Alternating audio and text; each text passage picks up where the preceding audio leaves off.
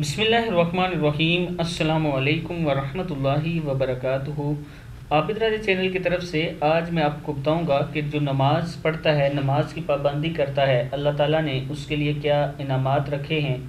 اس پر بات کریں گے۔ اس سے پہلے میں اپنے تمام دوستوں سے گزارش کروں گا کہ چینل کو سبسکرائب کریں، بیل آئیکن پہ کلک کریں تاکہ ڈیلی ویڈیو آپ لوگوں تک پہنچ سکے۔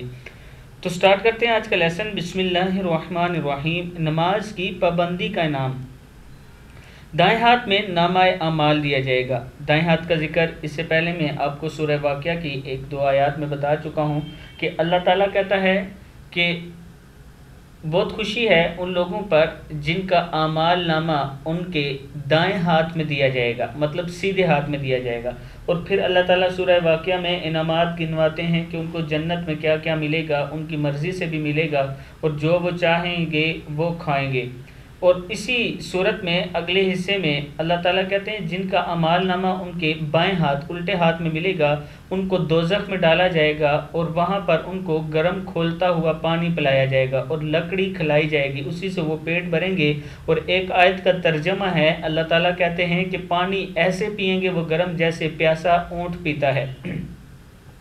تو اب نماز پڑھنے کا ایک فائدہ ہمیں یہ ہوا کہ ہمارا امال نامہ ہمارے سیدھے ہاتھ میں اللہ تعالیٰ نے دیا۔ دوسرا، عذاب قبر سے نجات ہے، قبر میں ہمیں عذاب نہیں ہوگا۔ تیسرے نمبر پر، پل سرات سے تیزی سے گزر جائیں گے۔ وہ پل جہاں سے گزرنا پڑے گا ہمیں، اگر ہم نماز کی پابندی کرتے ہیں تو وہاں سے تیزی سے گزر جائیں گے۔